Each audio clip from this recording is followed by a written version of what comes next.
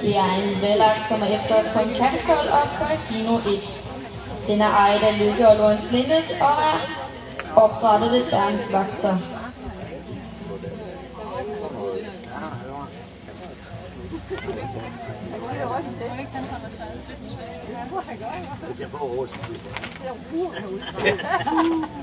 Og vi har en samlet point til Laura Winkler på Las Vegas. Den er 1,63.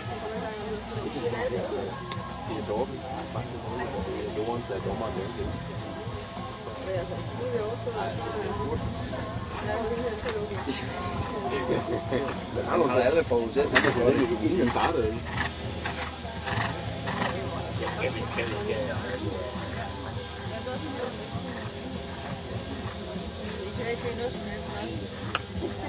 Se det begge. Det går godt.